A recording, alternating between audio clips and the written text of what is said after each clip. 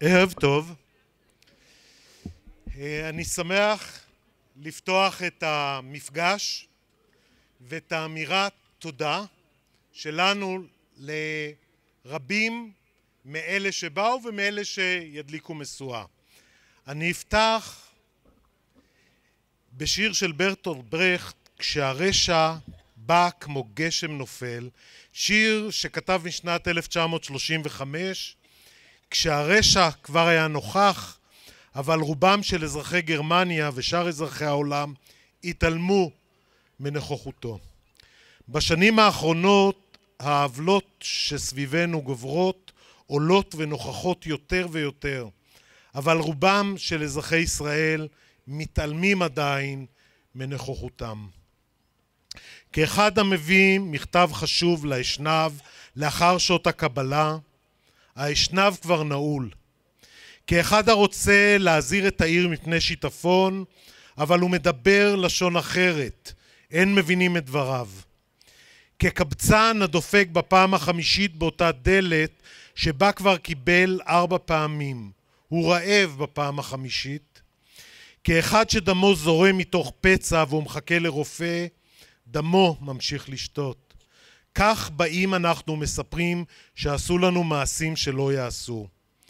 כשסופר לראשונה שידידינו נשחטים בהדרגה, קמה זעקה של פלצות. אז נשחטו מאה, אבל כאשר נשחטו אלף ולשחיטה לא היה סוף, נפוצה השתיקה. כשהרשע בא כמו גשם נופל, איש אינו קורא עוד עצור. כשהפשעים נערמים, הם נעשים בלתי נראים. כשהסבל נעשה ללא נשוא, אין שומעים עוד את הצעקות. גם הצעקות נופלות כמו גשם קיץ. אני שמח לפתוח בפעם ה-24 את טקס הדלקת משואות לישראל צודקת, שוויונית וראויה. אירוע בו אנו אומרים ואומרות לא, לא לכיבוש, לא לעוול, לא לזכיחות, לא לשאננות, לא לאטימות ולא לשחיתות. היום אנו בוחרים להדליק משואות עם אלה שמקדשות את זמנן ומרצן להארת הפינות האפלות של החברה והמדיניות הישראלית היום ותמיד ואני שמח לפתוח את האירוע ולהזמין להדליק המשואה את יאסר אבו ארישה אקטיביסט ועיתונאי. אמ, ערב טוב אה, رمضان كريم مساء الخير للمحتفلين والمحتفلات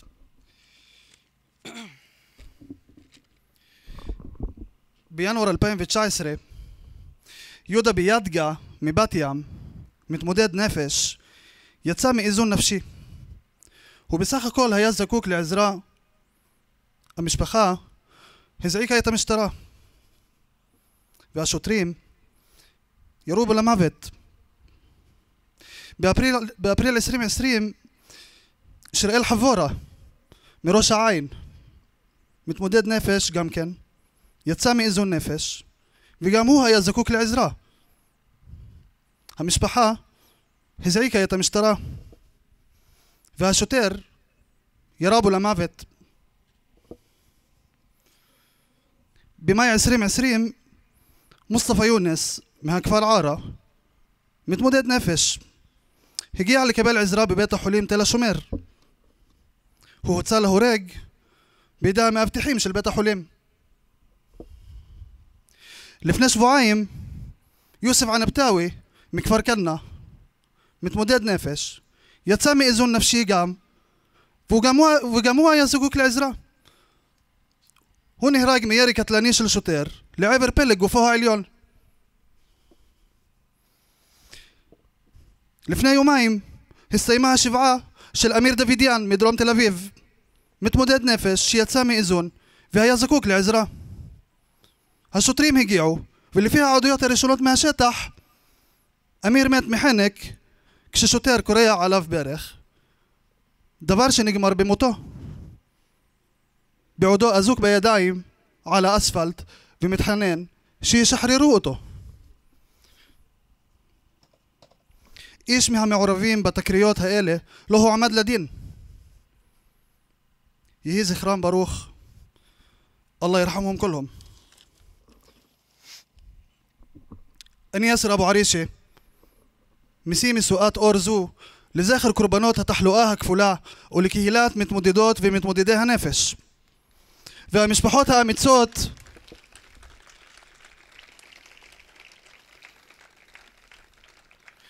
והמשפחות האמיצות שעומדות בגבורה הרבה פעמים לבד מול מערכת מזניחה, מזלזלת ומדכאת. בהוואי היומיומי שלנו יש אין ספור מקומות שדורשים תיקון. ויש אין קץ מאבקים מי כמוכן וכמוכם חברות וחברים יודע. אך משום מה נושא בריאות הנפש נותר תמיד במחשכי החצר האחורית של החצר האחורית של מערכת הבריאות בישראל עם יחס מזלזל מהממסד ובלי חמלה וסולידריות למען החלש מצד הקהילה הרחבה. אני מתפלל ומקווה שבשנה הקרובה ובאלו שיבואו אחריה לא נשמע יותר על אלימות משטרתית נגד מתמודדי נפש ובכלל שלא נשמע על אלימות של המשטרה כלפי האזרחים כי אם לריפוי אנו זקוקים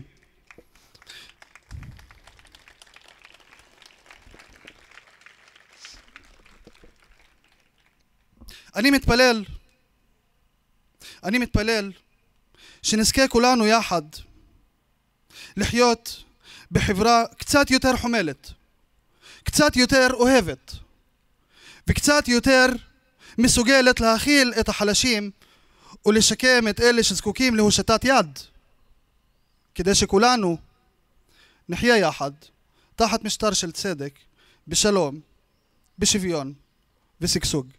תודה רבה לכולם וערב טוב. אני שמח להזמין את חנן אלסאנע, יו"ר שותף של המפלגה הדמוקרטית.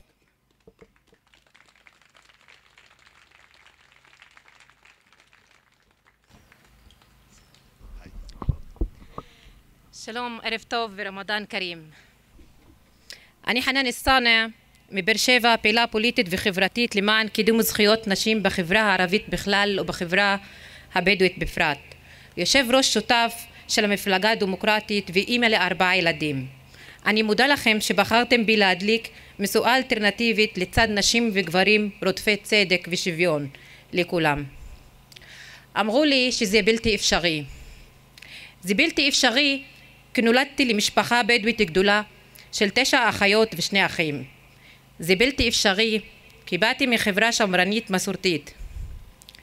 זה בלתי אפשרי כי אני ערבייה פלסטינית ילידת הארץ וזה בטוח, בטוח קשה יותר כי אני אזרחית המדינה המתגוררת בדרום החסמים הם רבים, האתגרים נשמעים בלתי אפשריים אבל ההוכחה בידיי זה אפשרי. הוכחתי את זה במעשה ידיי.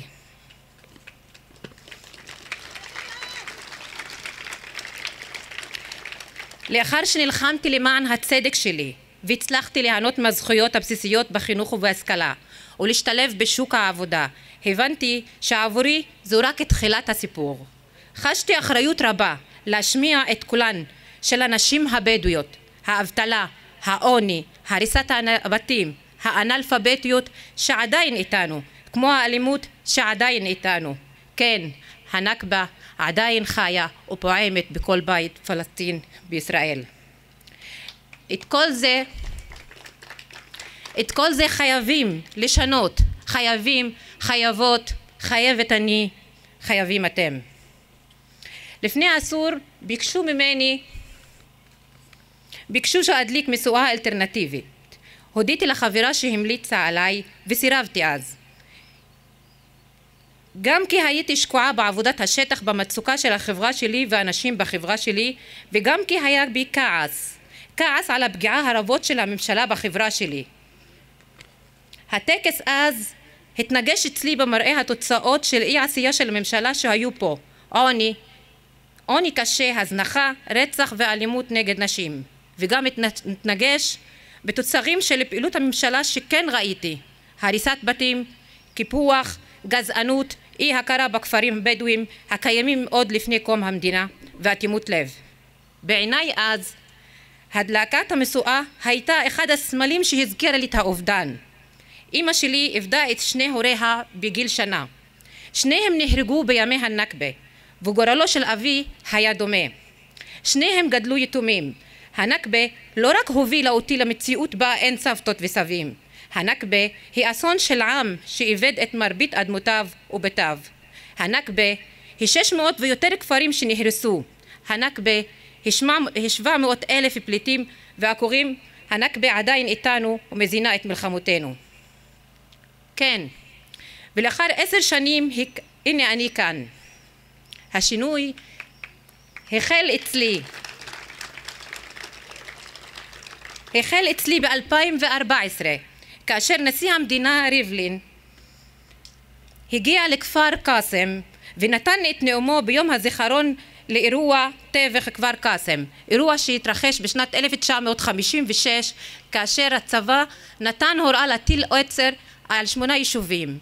יישוב, ביישוב כפר קאסם הקצין החליט לירות ב-46 פועלים שחזרו לכפר נרצחו על ידי החיילים תשע מהם נשים ו-16 ילדים ונוער ועוד 13 נפגעו.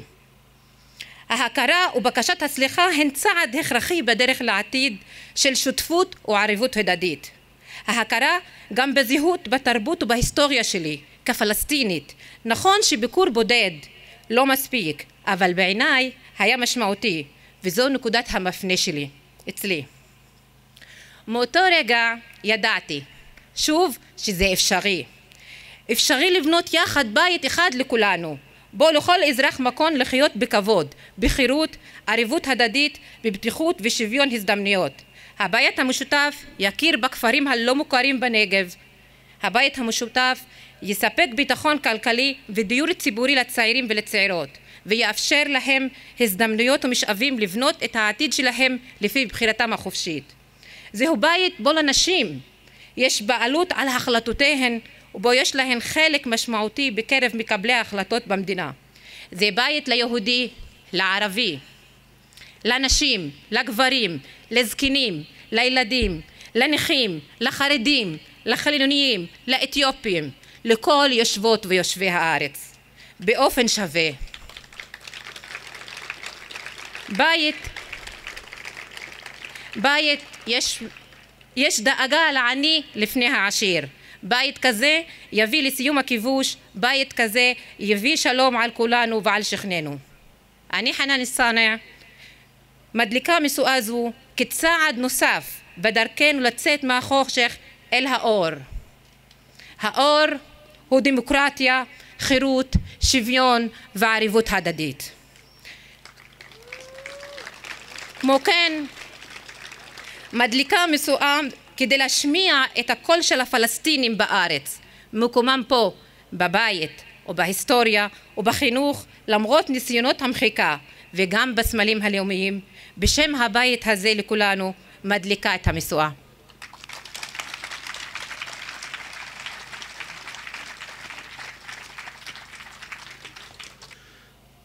אני שמח להזמין את אברהם בורג, סופר ואיש ציבור.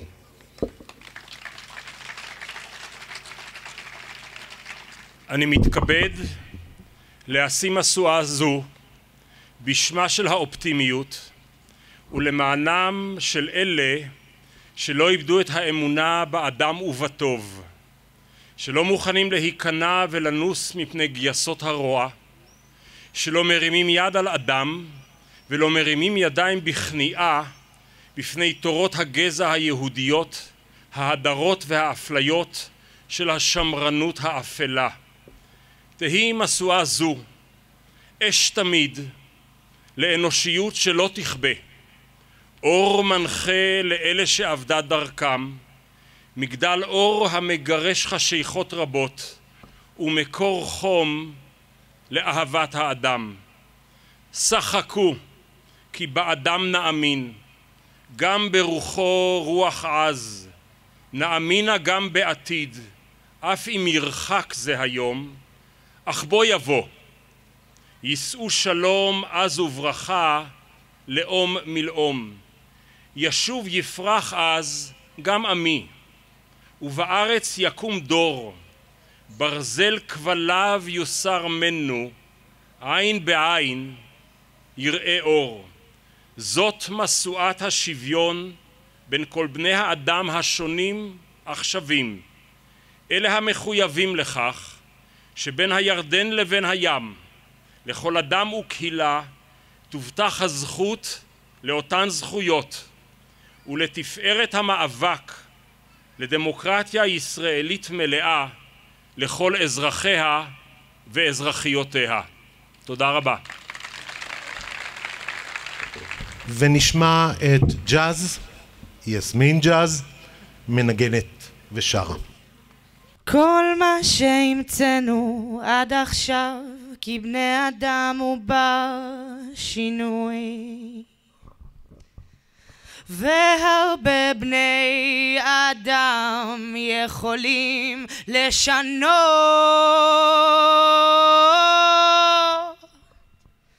כל מה שהמצאנו עד עכשיו כי בני אדם הוא בר שינוי וכבני אדם אפשר, וכבני אדם אפשר, וכבני אדם אפשר לשנות. כי זה שלי ושלך, לא, לראות את הדברים כמובן מאליו זה שלי ושלך. כי היום רודף מחר ולא מאוחר להתפכח כי נולדנו בני תמותה הוא עכשיו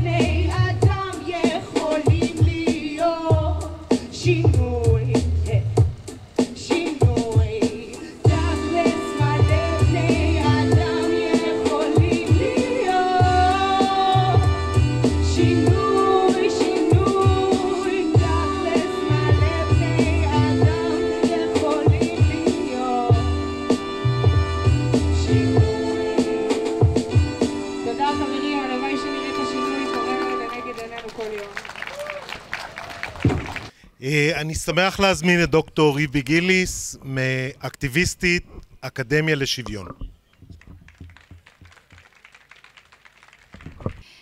פגיעה מינית. אנחנו נוטים לחשוב על פגיעה מינית כעל עניין פרטי, דבר שמתרחש בין פוגע לנפגעת.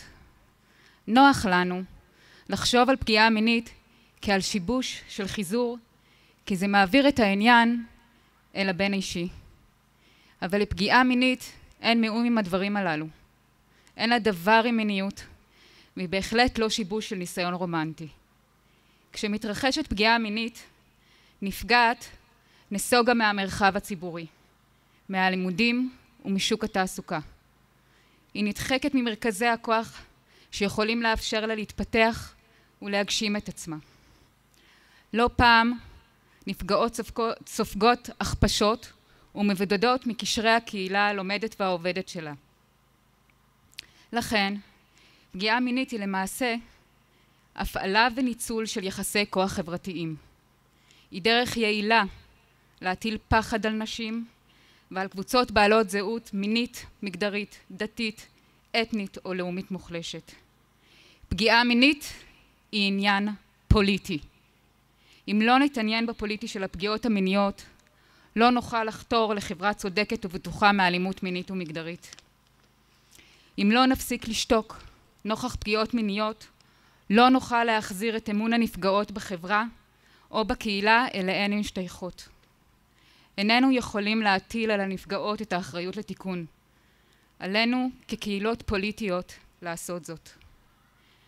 אם לא נעשה מאמצים להחזיר את הנפגעות למרחב הציבורי, אם לא נגן על זכותן לספר את עדותן, אם לא נהיה שותפים להרחקה והוקעה של פוגעים, אנחנו פשוט מאפשרים את הפגיעה הבאה. את הדברים הללו למדתי מנפגעות שסיפרו לי את סיפורן והפקידו את עדותן. מבלי שנקשיב להן, לניסיון שלהן ולדרישות התיקון שלהן, לא נהפוך לחברה טובה יותר. לא נצליח להבין את משמעות הצו, לא תעמדי על דם רעותך. אני ריבי גיליס, שותפה בה בצוות המאבק נגד הטרדות מיניות באקדמיה לשוויון, ובשם הנפגעות, לכבודן ולמענן, אני מתכבדת להשיא משואה זו, ועם תפילה, לחברה בטוחה מאלימות מינית. תודה רבה.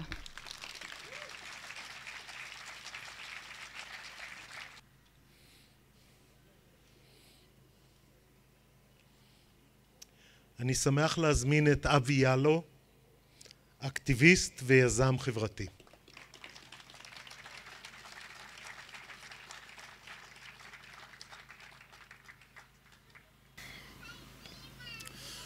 ערב טוב לכולם, שמי אבי אביאלו, בשנים האחרונות בעיקר עוסק אה, בניסיון אה, תמידי אה, ולא תמיד קל לקדם את ערכי השוויון והדמוקרטיה למען כולם.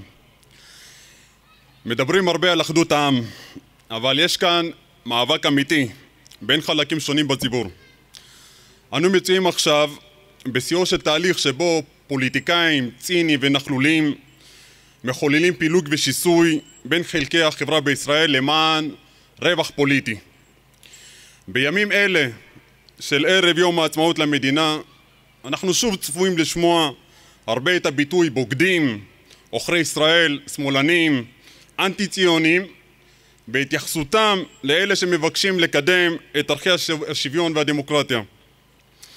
המוני מבוגרים וצעירים שמוסתים יחזרו על הפרופוגנדה והקלישאות הללו ואיש לא ינסה לחשוב שזו בעצם הסכנה האמיתית של החברה בישראל. במקום שאט אט המחיצות בין העדות, הקהילות, הקבוצות השונות ייעלמו, אנו עדים לתהליך מואץ של סגרגציה ובידול בין ערבים ויהודים, שחורים ולבנים, אשכנזים ומזרחים, סטרייטים ולהט"בים וכל הדיכוטומיות שאתם רק יכולים להעלות על דעתכם. לא בכדי, לצערנו הרב, תופעות של שנאת זרים, ואנחנו רואים את ההתייחסות למבקשי המקלט מאפריקה, ולא רק, גזענות ואלימות הן עובדה גמורה ומציאות עגומה. חברים וחברות, יש לזכור שאלימות משטרתית, חוסר שוויון, חוסר אמון, פערים חברתיים וכל השנאות נובעים מאותו המקום, מאותו שיבוש מוסרי וערכי. בערב זה בחרתי להיות כאן ולשאת את הדברים דווקא במקום הזה משום שזה חובתי כמו שהיא חובתכם האזרחית והדמוקרטית לפעול למען תיקונה של החברה בישראל. אין לנו את הפריבילגיה לשבת מן הצד ולצפות שהמציאות תשתנה מאליה או שאחרים יעשו את העבודה עבורנו. שומה עלינו לפעול לשינוי המציאות הזו. וככל שאנחנו נפעל, כך היכולת שלנו לשנות את המציאות הזאת תגדל. הזמן לא משנה את המציאות, האנשים משנים את המציאות. לסיום אני מבקש להזכיר את האחים שלנו, את אברה מנגיסטו בן הגרנש, את אישה מסייד, את ג'ומעה אבו ענימה, וכמו כן את גופותיהם של הדר גולדי ואורן שאול שעדיין לא שבו הביתה. אני רוצה להתכבד ולהליק את המשואה הזו היום, לא רק בשמי, אלא בשמם של אותם קבוצות ואותם מיעוטים ואותם אנשים שהשאיפה המרכזית שלהם בחיים היא לא להרוויח כסף, היא לא להתקדם ממעלה הפירמידה החברתית, היא לשרוד, היא לחיות, היא להביא אוכל בכבוד לבית, היא לדאוג לחינוך של הילדים שלהם, היא לוודא שהילד יוצא הביתה מתוך מחשבה שהוא יחזור הביתה שלם, לא שחלילה היציאה הזאת תסתיים בארון קבורה.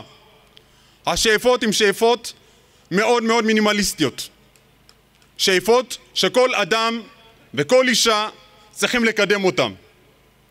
ולכן אני נמצא כאן כדי בעצם להליק את המשואה הזאת למען הדמוקרטיה, למען השוויון, למען הצדק ולמען חברה שפויה ומתוקנת יותר. תודה לכם.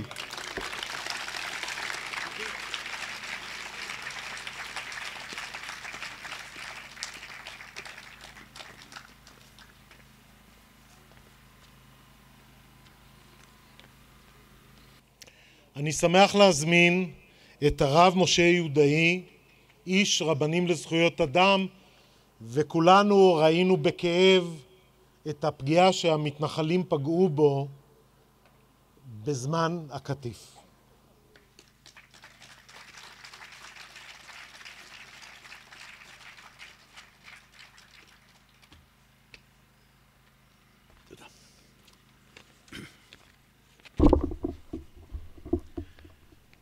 אני משה יהודאי, בן 81, יליד ירושלים, בן לשרה לבית שטרנברג ולשמואל מבית קשפיצקי, נשוי באושר לעטרה, אב לשלושה וסב לשבעה.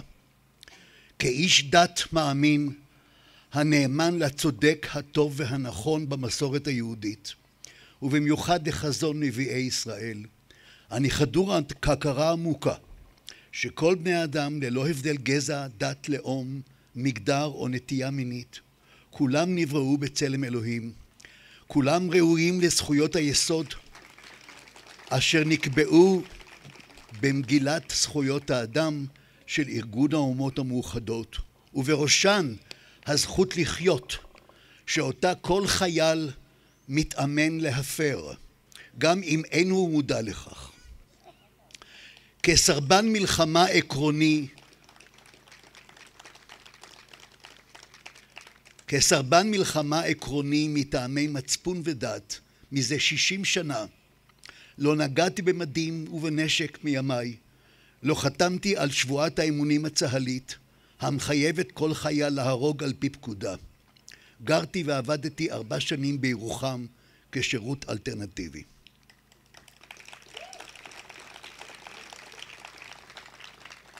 כפציפיסט מושבע אני שולל בכל תוקף את המיליטריזם הישראלי הפושה בצורה ממאירה בכל תחומי חיינו ומנחה את ממשלות ישראל לדורותיהן. במיוחד אני מגנה את מכירות הציוד הצבאי לכל דיקטטור בעולם, ציוד המשמש לדיכוי ולהרג המוני.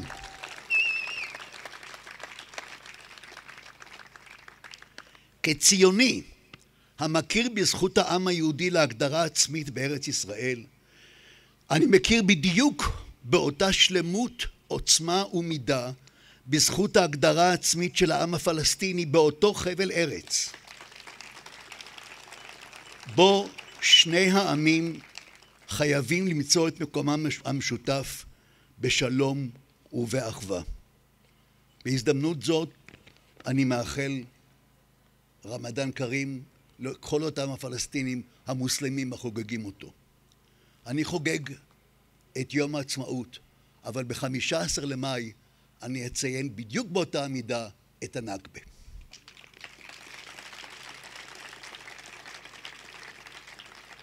כרב רפורמי, ליברלי, הומניסט וסוציאל דמוקרט, איש מרץ, חבר ואחד ממייסדי הארגון שומרי משפט, רבנים למען זכויות אדם,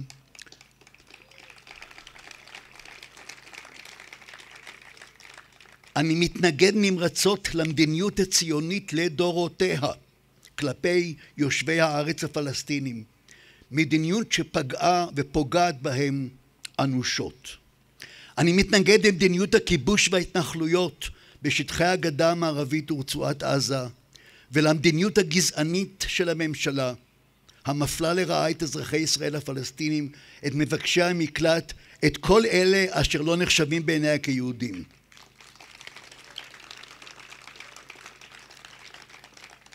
אני מגנה את הקפיטליזם האכזרי של ממשלת נתניהו, ממשלות נתניהו, הגורם לעוולות קשות להמוני העם. אני משיא משואה זו לכבוד ארגון יש גבול, לכבוד סרבני המלחמה לדורותיהם מטעמים פוליטיים או עקרוניים, לכבוד חבריי העובדים והמתנדבים בארגון שומרי משפט, המסייעים לכל נזקק באשר הוא, לכל הישראלים המסייעים לפלסטינים תחת הכיבוש בדרכים שונות. ואזכיר הערב את חבריי הרב אריק אשרמן ואת חבר הכנסת דוקטור עופר כסיף שנפצעו לאחרונה במהלך הסיוע נפצעו מידי מתנחלים או מסייעיהם מכוחות הכיבוש. לכבוד האיכרים הפלסטינים הסובלים מטרור המתנחלים ומשיתוף הפעולה עמם של כוחות הביטחון הישראלים. ובמיוחד אני מדליק משואה זו לכבודו של מוחמד הסוס מהכפר בורין כפי ששמענו בסוכות התש"פ אוקטובר 2019 עבדתי עם מתנדבים אחרים בחרמו של מוחמד ואז באו פורעים מכיוון יצהר, הציתו את השדה שעבדנו בו והיכו בי בחבטות וגרמו לשבר בידי אשר נזקקה לגיבוס. מוחמד הזעיק את אנשי הסהר האדום משכם אשר חילצו אותי מהשדה הבוהר, הביאו אותי למקום מבטחים ולבסוף הגעתי לבית חולים מאיר בו גובסתי. יבואו כולם על הברכה. תודה.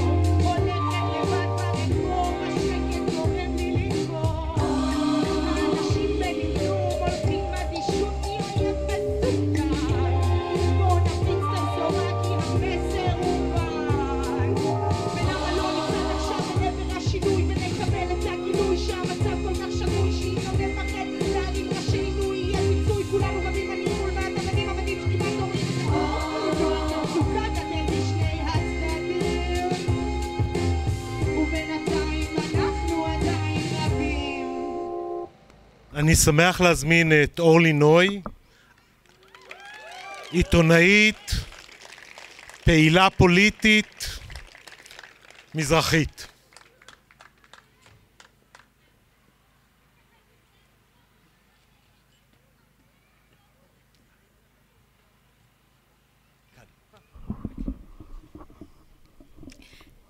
ערב טוב. באחת אה, מההזמנות לאירוע הזה הערב אה, הופיעה תמונה שבה אה, רואים שלוש ילדות מדליקות את, ה, את משואת הילדים המסורתית של סוף הטקס. אחת הילדות בתמונה הזאת, שצולמה לפני שנים רבות, היא בתי הבכורה. נועה. אני זוכרת שבאותם ימים הבנות היו שואל, שואלות אותנו למה אנחנו הולכים לטקס הזה ולא לטקס השני עם הזיקוקים היפים כל כך בסופו. אמרנו להן אז שאנחנו מאחלים למדינה דברים שונים ממה שמאחלים לה בטקס ההוא. ובמשך השנים, כמו במסע אינסופי אל ארץ עוץ, איחלנו לה לב, שכל, אומץ, צדק, מוסר. ומשנה לשנה ראינו איך מרצפות הדרך הופכות לבולענים של אש שסללו לאחרונה את דרכם של הכהניסטים לתוך הכנסת. לא רק בולעני אש, אלא גם בולעני תודעה ריצפו את הדרך הזו. בולעני תודעה כמו תיאוריות מניפולטיביות על ישראל ראשונה וישראל שנייה שנועדו להכשיר את השעבוד הטוטלי של האינטרס המזרחי לטובתו של איש מושחת ואטום לב והברית שכרת עם הפשיסטים והכהניסטים.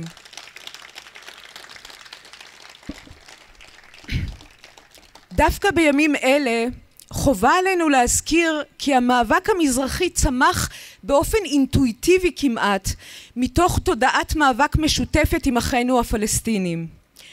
כאשר מורדי ואדי סאליב הכלילו ברשימת הדרישות שלהם את הסרת השלטון הצבאי מעל האזרחים הערבים, כאשר צעירי הפנתרים השחורים שבימים אלה ממש אנחנו מציינים חמישים שנים להקמתם היו מהראשונים להיפגש עם ההנהגה הפלסטינית משוחררים מבולעני התודעה הללו הם הבינו כי לדיכוי שלהם ושל שכניהם שורש משותף ושהחירות על כן חייבת להיות משותפת גם כן.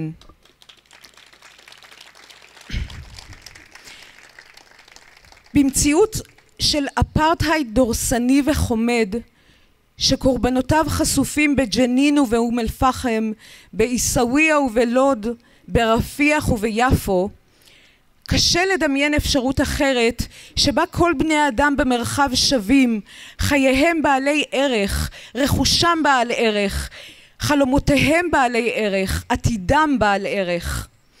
אבל לנו יש חובה מוסרית לדמיין את המציאות הזו ולהילחם למענה. לנו, למזרחיות ולמזרחים, יש חובה מוסרית כפולה ומכופלת כלפי המרחב הזה שבו התעצבה זהותנו, שעברו עברנו, ששפתו היא שפתנו, שמנהגיו הם מנהגינו, אנשיו הם אנשינו. למען האפשרות להתחבר שוב למרחב הזה כילידים בני המקום ולא כקולוניאליסטים חסרי כבוד. כי שלשלאות, כי העליינות היהודית האוזקות את הפלסטינים בצידן האחד אוזקות גם אותנו בצידן האחר, מנותקים מהמרחב שבתוכו צמחנו, מנוכרים לשורשינו. אני מבקשת להדליק את המשואה הזו לכבוד העתיד הזה ולכבוד הסולידריות שהיא תנאי הכרחי לו. ואני מבקשת לסיים בארבע שורות של המשורר האיראני אסמאעיל חוי שהן בעיניי מהות המילה סולידריות. אין שמחה בעולם כל עוד יש לב אחד שבור. לא תהיה פריחה כל עוד יש כפר אחד עקור. בכל רחבי תבל, מכאן עד קצה עולם, לא תהיה חירות כל עוד יש איש אחד אסור. תודה רבה.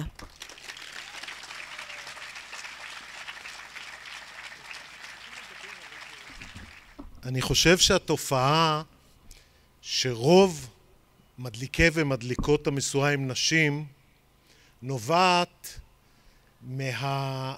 מכך שהם המגדר שמוביל את השינוי החברתי וסוחב אותו וסוחב אותנו לכיוון עולם טוב יותר.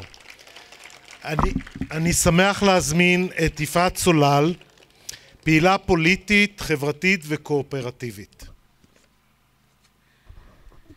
אני יפעת סולל, תושבת תל אביב,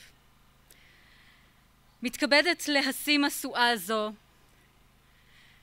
בשם המאבק על הדמוקרטיה הישראלית, בשם המאבק לשוויון של כל אדם באשר הוא אדם, המאבק המשותף של יהודים וערבים למען חברה צודקת והמאבק נגד גילנות ובעד זכותם של כל אישה ואיש בכל גיל לחיים בכבוד.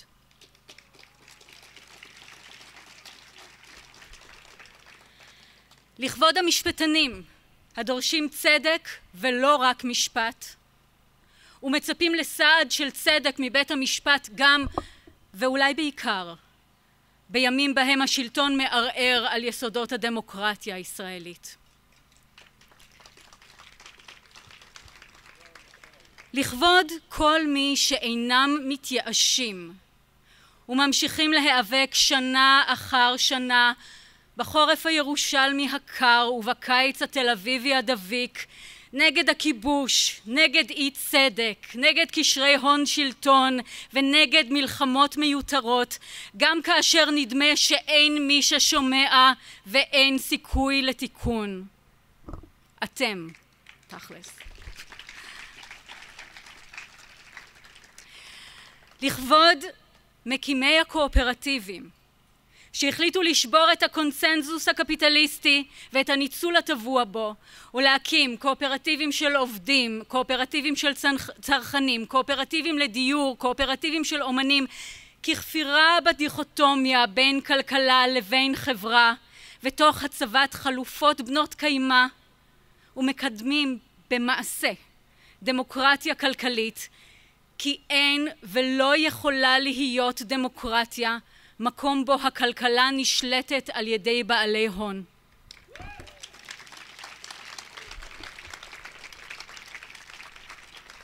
ודווקא כאן, על מדרגות בנק ישראל, לכבוד אופק, שלאחר עשר שנים של מאבק קיבלה רישיון לפעול כאגודת אשראי ותוכל לאפשר לתושבי ישראל להוציא את כספם מהבנקים ממקסמי הרווחים ולגרום לכסף של כולנו לסור מרע ולעשות טוב.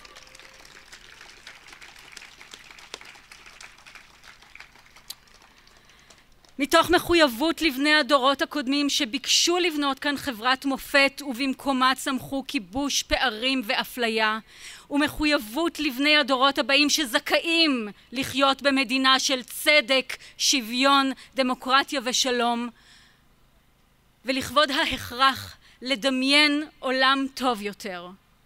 היכולת להפוך את הדמיון למטרות קונקרטיות ולתוכניות עבודה. החובה לפעול ללא לאות למימוש המטרות. והציווי המוסרי לא לוותר לעולם.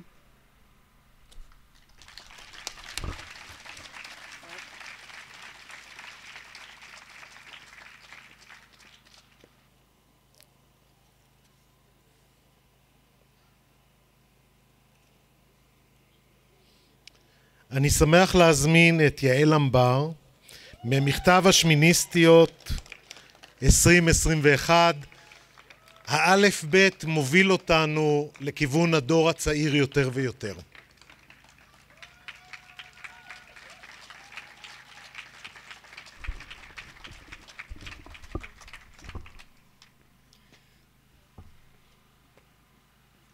שלום, ערב טוב.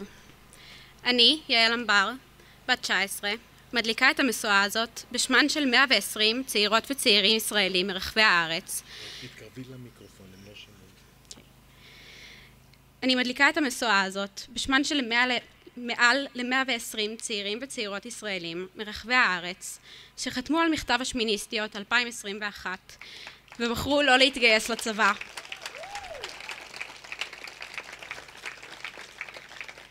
בחרו לא להתגייס לצבא מתוך נאמנות ערכית לצדק, לשלום ולסולידריות עם מאבקם של הפלסטינים לחיים בכבוד.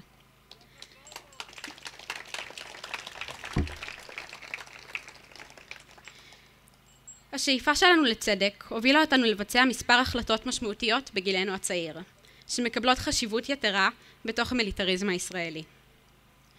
הראשונה, ובעיניי החשובה שבהן, הייתה הבחירה לנסות לקדם שיח שווה בין שווים עם בני ובנות גילנו סביב גיוס, כיבוש ואחריות אישית וקבוצתית. היו מספר סיבות להחלטה הזו. חלקן היו משותפות לכולנו כקבוצה, וחלקן נבעו מהחיים האישיים שלנו. לכולנו היו ספקות סביב ההנחה שהצבא פועל בגבולות הסמכות הביצועית שלו בלבד, ותחושה שהגיוס שלנו הוא מעבר לדרישה לקחת חלק בהגנה על החברה הישראלית. הוא דרישה להשתתף ברמיסה של עם אחר, של העתיד של בני גילנו הפלסטינים. אה, אוקיי. הרמיסה הזאת נעשית באופן יומיומי ושיטתי, דרך הריסות בתים, מעצרי קטינים, פיתוח ההתנחלויות, שימור המצור על עזה, ניצול כלכלי של עובדים מהשטחים ואלימות משטרתית. אה, אנחנו לא מוכנות לעצום על כך עין. ברמה האישית יותר, היו לי כמה רגעים מכוננים בהחלטה שלי לא לקחת חלק בכיבוש ולא להתגייס.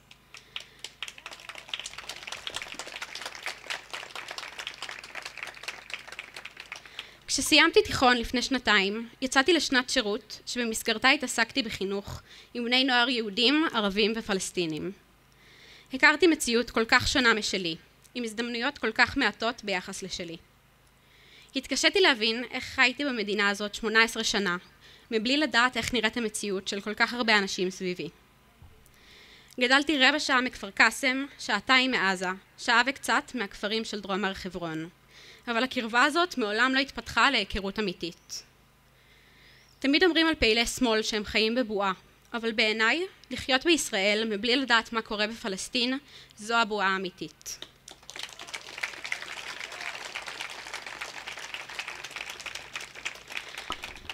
כשקיבלתי את הפטור שלי מהצבא, יצאתי לשירות אזרחי בבית הספר הדו-לשוני בירושלים, שבו לומדים תלמידים מכל הקהילות וכל השכונות בעיר ובסביבה. אני פוגשת בכל בוקר נוער מצחיק, חכם, מלא פוטנציאל ומפיץ תקווה, שמזכיר לי למה אני עושה את מה שאני עושה, ומניע אותי לפעול למען עתיד בטוח ושוויוני יותר עבורם. אנחנו מקוות שדרך המכתב והפעילות שסביבו נצליח להמשיך לקיים שיח רחב יותר על התפקיד שנדרש מאיתנו למלא כצעירים וכצעירות שהמדינה הזאת חשובה להם. הסירוב שלנו הוא לא הפניית עורף לחברה בה אנחנו חיים, אלא לקיחת אחריות אקטיבית על גורלנו המשותף. תודה.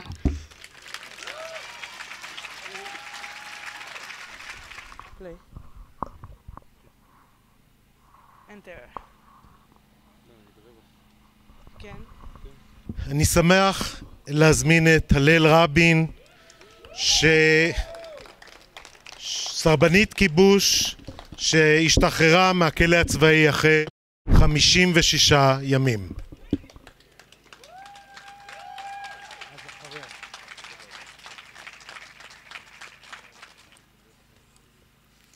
ערב טוב לכולן ולכולם, רמדאן כרים. אני, הלל רבין, מודה ומתכבדת בזאת להדליק את המשואה הזו בטקס הזה למען האנשים והאנושיות, שאלה שני דברים שנדמה שקשה יותר ויותר למצוא בימים חשוכים אלה, והימים אכן חשוכים. אבל גם בתוך החושך, הכאוס, האלימות המשתוללת, השנאה והפחד, קיימים אנשים. כל אחד ואחת, בכל מקום בעולם, הוא התגלמות של חיים, וגם במקומות החשוכים והקשים ביותר יש חיים ועלינו לחזק, להכיר ולהצטרף אליהם. צריך שכל אדם ידע ויבין שבתוכו דולק נר, ואין נרו שלו כנר חברו, ואין איש שאין לו נר. צריך שכל איש יבין שעליו לעמול ולגלות את אור הנר ברבים, להדליקו לאבוקה גדולה ולהאיר עולם כולו, אמר הרב קוק ודבריו רלוונטיים כתמיד ומתמיד. במסע הקצר שלי בתוך המערכת הצבאית נתקלתי בהרבה חושך. במפגש עם הקצין השופט, בוועדות המצפון, מול קצין המודיעין, בק... מול... מול קצין המודיעין ובכלא 6, פלוגה 600. וגם ראיתי הרבה אור, המון אפילו. ראיתי איך את הפחד וחוסר ההסכמה האידיאולוגי החליפו כבוד ושותפות גורל. איך את הבוז אל המעשה הקטן והסיזיפי שלי החליפו הומור ומשפטים כמו אני לא מסכימה איתך בכל המובנים אבל סחטיין על העמידה שלך על העקרונות. ראיתי את השינוי שמפגש אינטימי ואנושי יכול לגרום. ראיתי איך במציאות של כלא צבאי, כשלכאורה אין יותר מדי חיוביות, נרקמות חברויות מכל קצוות החברה, איך דעות קדומות מתנפצות, איך כשפותחים את הלב נפתחים גם, נפתחים גם הראש, התודעה והעיניים למציאות שהיא אולי לא בדיוק המציאות שלי, אבל היא אמיתית לא פחות, ואיך הצדק שלי והאמת שלי לא באים בהכרח על חשבון אמת וצדק של אחר. יש כוח במעשים שאנחנו עושים. וראיתי גם איך את הפחד שלי, את חוסר ההסכמה וההתאמה שלי, החליפו תקווה מסוימת, חמלה, ובעיקר בעיקר אמונה שלמה ואמיתית שיש לנו את היכולת להאיר את החושך, כל אחד על פי יכולתה, בזמנה ועל פי דרכה שלה. וזו חובה. חובה עלינו כבני ובנות אדם, כאנשים, לתקן את שעיוותנו, לשחרר את שכבשנו, להכיר בהרס שגרמנו, לרפא את שפצענו, ולהתחייב ולה... להתחייב להילחם ולהמשיך להילחם למען החירות, החיים והשלום של כולנו. תודה.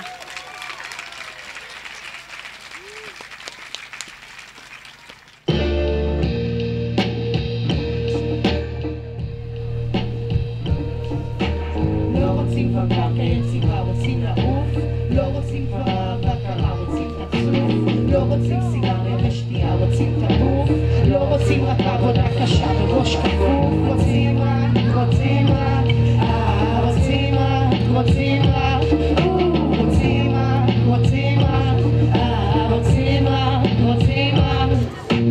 לא רוצה עוד עבודה טובה, רוצה לשבור את התקרה. לא רק להנהן בהסכמה, לא רק להקשות על התשובה לא רוצה עוד הכרה שקטה לא רוצה את הרע במיעוטו רודפת טוב לא רוצה את הפנטהאוס בשדרה, רוצה לכתוב לא רוצה את השקט הרועם, רוצה קרוב לא רוצה לריב עם השני בעיקרון לא רוצים לחזור אל השיטה יש משהו מסריח בשגרה זה כאילו התעוררנו רעבים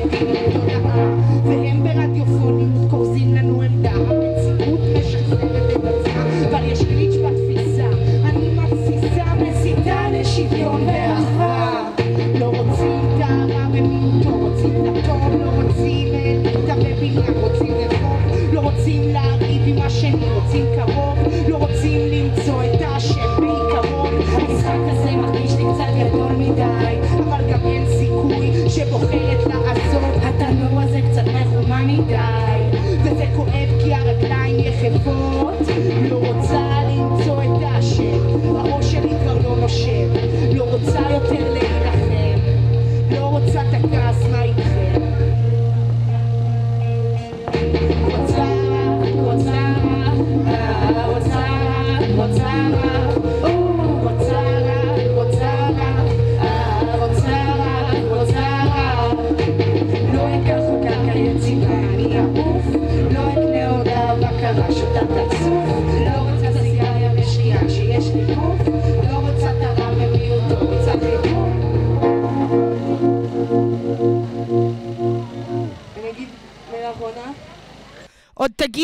התקופה שנתעורר וזה יקרה יותר מהר ממה שמישהו חושב המחשבות על לשפר נעלמות ככל שגדלות הכותרות על הבדלות. אנשים נעלמים בתוך דירות, קופסאות כולנו לכודים מפחדים מתוצאות. מה יקרה אם ראש נרים ונראה את המסקנות? fuck מה קרה? אשכרה. הפכנו לדמויות צייתניות במחזה שאין לו סוף. ההשלכות שלה לשתוק מביאות אותנו אל המסקנות שעדיף להיות אדם עובד אל מול מורה לשתוק. זה לא נכון. אם לא ננעל שינינו אל מול הצורר הם יהפכו את החווה הזו לבית אורות. היי בכל העולם מספרים שזה חם להשתיק התנגדויות אבל תכלס אדם מלא בני אדם יכולים להיות. קבוצה כובשת, פאק הכנסת, פאק כל שלל ההחלטות כל יום כותרת שרומסת את הזכות שלי לחיות. המיאוס הזה ממאיס את המאוסים צריך לבחור על מה לשים את הפוקוס. יאללה תוצאות בואו נחיה לגמרי נחיה לא נפחד להביט בעתיד. אם יתגלה שכולנו זה מאה אז גם ככה יגיע הסוף ומפחיד. אם לא נהיה עד הסוף נקרה אז בסופנו נשאל מה עשינו בכלל החיים הם כולה חיים. אז בואו נשרוף את הצמיגים כי נמאס שגונבים את השלל שקרים על כסף למי יש כסף? לאף אחד מהסביבה שלי. יש לי חשק לחבור לכנסת רק כדי לחשוב על החברה שלי. אני מפחדת להיות מורדת שלא תנקום בי ממשלה שלי משלה שלי. עשית דברים לא לטעמי. בין בני אדם אין כבר מקום למי שלא זמני. האיש המבודל הוא זה שידע איך להפריד בין פרט לכלל. אין סל קניות, אין סל תרופות, צריכה צריכה, הוצאה צריכה, נושא נסו במנוסה, אני מוסע. היום שאחרי אפוקליפסה הוא היום בו הכל יתחיל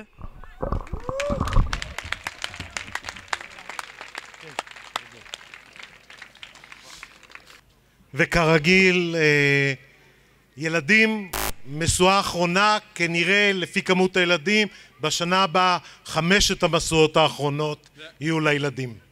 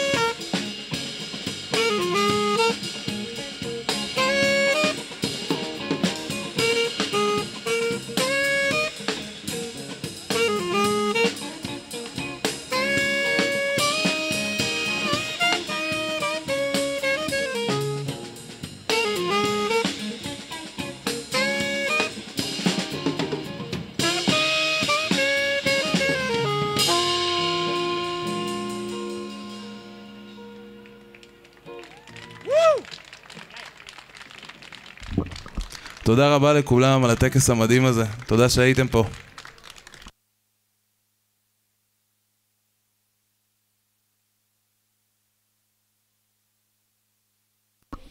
כמובן שאלה היו החצילונים. שזה חצילים אבל קטנים קטנים קטנים. בכל מקרה, תודה שבאתם. תראו, אנחנו חיים במציאות די מחורבנת. אבל עולם אחר אפשרי אם כולנו, לפחות אנחנו, נפעל לשנות אותו, לעשות אותו טוב יותר ליותר אנשים. כרגע לא משהו העולם. ובעיקר הצעירים, אנחנו בונים עליכם.